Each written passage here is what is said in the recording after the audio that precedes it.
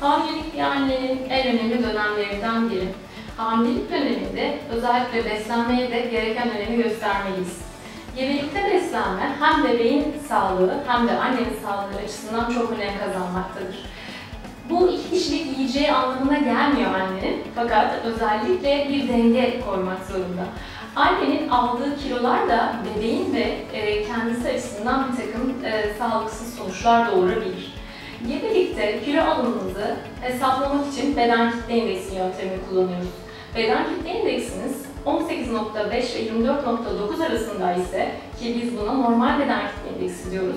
Bu dönemde hamile kaldıysanız alacağınız kilo 10-12 kilo aralarında olabilir. Eğer beden kitle indeksiniz 18.5'in altındaysa ve zayıf bir hamilelik başlangıcında e, eğer başladıysanız bu dönemde alacağınız kilo 14-16 kilolara kadar da çıkabilmektedir.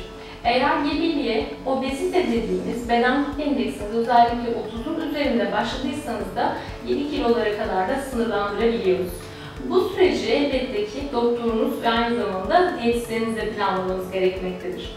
Gebelikte fazla kilo almanın sakıncaları arasında özellikle bir takım risklerin oluştuğunu görüyoruz. Bunların başında gestasyonel diyabet yer almaktadır ve aynı zamanda preeklamsi gibi bir takım sağlık sorunları oluşmakta. Bu düşük doğumları da gidebilmektedir.